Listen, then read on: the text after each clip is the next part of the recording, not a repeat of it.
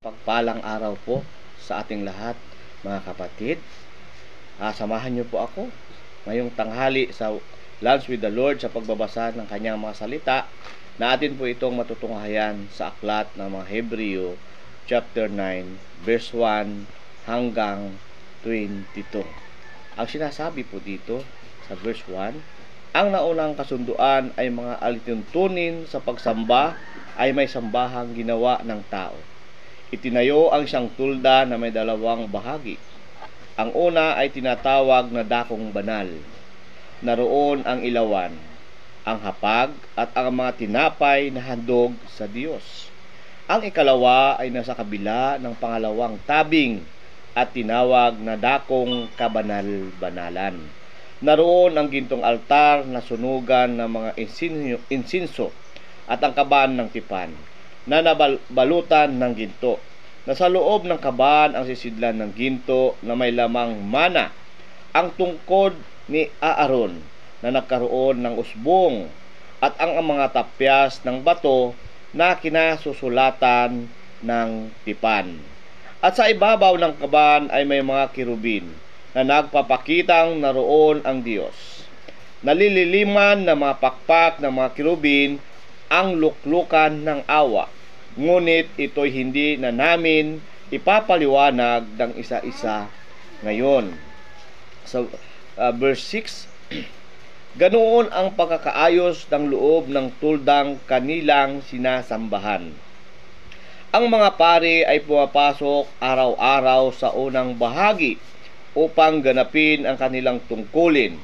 Ngunit, tanging ang pinakapunong pari ang nakapasok sa ikalawang bahagi at ito'y minsan lamang niyang ginagawa sa loob ng isang taon.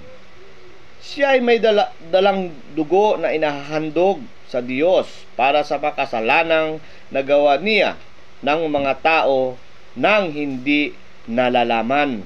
Sa ganoong pagkaayos, maliwanag na itinuturo ng Espiritu Santo na ang daang papunta sa dakong kabanal-banalan ay hindi pa bukas habang nakatayo pa ang unang bahagi ng tulda.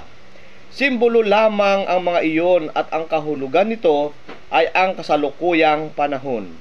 Ang mga banal sa mga, sa mga sumasamba roon ang paglilinis nila ay nauukol lamang sa pagkain at inumin at sa ibang iba't ibang uri ng paglilinis mga alituntuning panlabas na iiral hanggang sa baguhin ng Diyos ang lahat ng bagay. Sa 11, ngunit dumating na si Kristo, ang pinakapunong pari ng mabubuting bagay na naririto na. At siya ay naglilingkod noon sa sambahang higit na dakila. Walang katulad at hindi ginawa ng tao ang sambahang ito ay hindi sa sanlibutan ito. Minsan la, lamang pumasok si Kristo sa dakong kabadal-banalan at iyo'y sapat na. Hindi dugo ng mga kambing at guya ang kanyang inihahandog, kundi ang sarili niyang dugo. Para mapatawad tayo sa ating mga kasalanan magpakailanman. Kung ang dugo ng mga kambing at turo at ang abo ng dumalagang baka ay iniwiwisik sa mga taong itinuring na marumi upang sila'y luminis ayon sa kautusan. Higit ang nagagawa ng dugo ni Kristo sa pamamagitan ng walang hanggang espiritu. Inialay niya sa Diyos ang kanyang sarili bilang handog na walang kapintasan. Ang kanyang dugo ang lumilinis sa ating puso't isipan sa mga gawaing walang kabuluhan upang tayo'y makapaglingkod sa Diyos na buhay. Kaya nga si Kristo ang tagapamagitan ng bagong kasunduan sa pamamagitan ng kanyang kamatayan, ipinapatawad ang paglabag ng tao noong sila ay nasa ilalim pa ng naunang kasunduan. Dahil dito, makakamta ng mga tinawag ng Diyos ang walang pagpapala ng kanyang ipinangako. Kapag may testamento, kailangan mapatunayang patay na ang gumawa niyon sapagkat ang testamento ay walang bisa habang buhay pa ang gumawa. Magkakabisa lamang iyon kapag siya ay namatay na. Maging ang naunang kasunduan ay hindi pinagtibay kung hindi sa pamamagitan ng dugo ng mga hayop na inihahandog. Matapos ipinahayag ni Moises sa mga tao ang bawat alituntunin sa kautusan. Kinuha niya ang dugo ng mga baka at ng mga kambing at hinaluan niya iyon ng tubig. Kumuha siya ng pulang lana at sanga ng bisipo at isinasawsaw iyon sa dugong may halong tubig. Winimisikan ang aklat ng kautusan at ang mga tao. Kasabay nito'y kanyang sinabi, ito ang dugong nagpapatibay sa tipan na ibinigay ng Diyos na ipinap, pinapatupad sa inyo. Winisikan din niya ang dugo, ang tulda at ang mga kagamitan ng pagsamba. Sa last 22, ayon sa kautusan, halos lahat ng bagay ay nilinis nilinis sa pamamagitan ng dugo at walang kapatawarang kasalanan. Kung hindi, sa pamamagitan ng pag-alay ng dugo.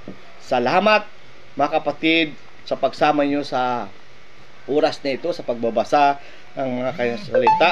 Purihin ang Panginoon sa uh, oras na ito. Salamat sa kanyang mga salita.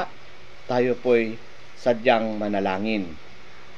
O dakilang Diyos na makapangyarihan sa lahat. Sa oras na ito, Panginoon, kami po ay nagpapasalamat sa iyo. Sapagat Lord, nagkaroon kami ng pag-asa sa pamamagitan, Panginoon, ng dugo ng aming Panginoong Heso Kristo na siyang nag-alay ng kanyang buhay upang Lord ang aming mga kasalanan ay mapatawad. Mapatawad niyo po. Salamat Ama. Napakadakila ng aming Panginoong Kristo sapagkat siya ang nagtubos at nagbuwis ng buhay upang kami ay magkaroon ng kaligtasan. Sa kabila ng aming uh, Lord na uh, uh, hindi pagsunod sa kanyang mga naisin sa aming sa kabila ng aming uh, katigasan ng ulo. Sa kabila Panginoon ng aming araw-araw ng pagkakasala. Ngunit nandyan ang Panginoong Diyos upang mamagitan sa Ama. Sa oras na ito maraming salamat O Lord na kami ay iyong pinatawad na kami Lord ay nagkaroon Panginoon ng pag-asa sa aming mga buhay. Nawa, Panginoon, turuan mo kami ng iyong banal na Espiritu at mapalakas ang aming pananampalataya para sa inyo. Salamat, Ama, na isa kami na iyong pinili, isa kami sa mga pinatawad mo.